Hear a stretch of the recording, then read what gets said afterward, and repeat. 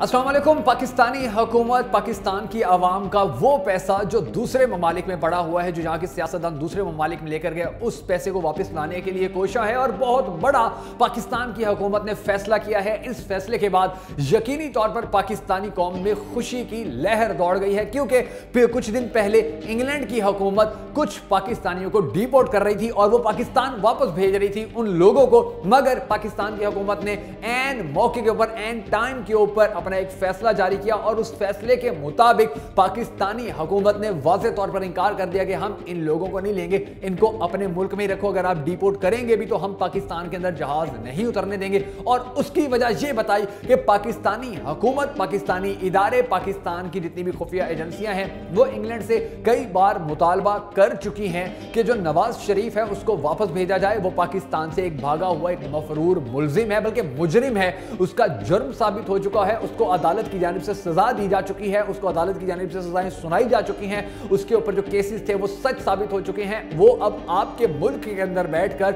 इलाज के बहाने वहाँ पुरसकून ज़िंदगी गुजार रहा है और उसकी वजह से उसने जो पाकिस्तान का, पाकिस्तान की आवाम का, पाकिस्तान के लोगों का जो पैसा लूटा था, उस लूट मार की वजह से आज भी पाकिस्तान के बच्चे बुनियादी हकूक से महरूम है। अगर अब भी नवाज़ शरीफ को आप वापस नहीं भेजेंगे तो हम उन लोगों को वापस लेने से बिल्कुल भी इंकार कर देंगे, जिनको आप डीपोर्ट करते हैं। अब डीपोर्ट होने वाले लोगों को अगर पाकिस्तान वापस नहीं उतरने दिया जाएगा तो इसका साफ़ मतलब ये है कि उनको फिर इंग्लैंड की हुकूमत जो है, उनको मजीद मसाइल का सामना करना पड़ेगा। और अगर आने वाले वक्त में इंग्लैंड की हुकूमत नवाज़ शरीफ को वापस पाकिस्तान नहीं भेजेगी तो इसकी वजह से भी उसकी पूरी दुनिया में बेजती होगी इंसल्ट होगी, क्योंकि पाकिस्तान की हुकूमत बहुत बार उनसे एहतजाज कर चुकी है, बहुत बार उनसे दरख्वास्त कर चुकी है, बहुत बार उनसे इल्तजा कर चुकी है कि मियाँ नवाज़ शरीफ को वापस भेजिए। ताकि पाकिस्तानी आवाम को पता चले कि पाकिस्तान के अंदर अगर कोई लूट मार करेगा, पाकिस्तान की आवाम के अगर कोई हकूक खाएगा, पाकिस्तान की आवाम के हकूक पर डाका कोई डालेगा और वो फिर बाहर के मुल्क जाकर बैठ जाएगा तो इसका हरगिज मतलब ये नहीं होगा